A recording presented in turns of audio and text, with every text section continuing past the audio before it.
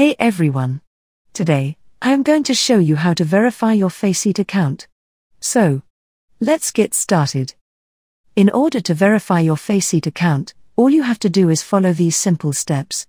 First, open your Chrome or any browser. Once you are in, now, search for Faceit Verify. Once you type in, click on the Enter. Now, click on the first website that appears.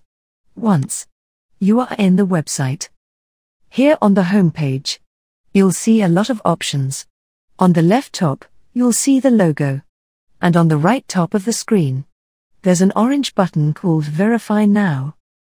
Click on Verify Now to start the process. Now, to get verified, you'll need to have your ID, documents, and a selfie ready.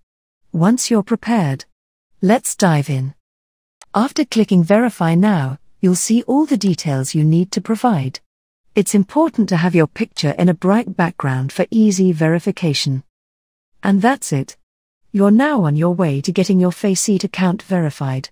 If you found this video helpful, don't forget to give it a thumbs up and subscribe to our channel for more tech tips and tricks. Thanks for watching.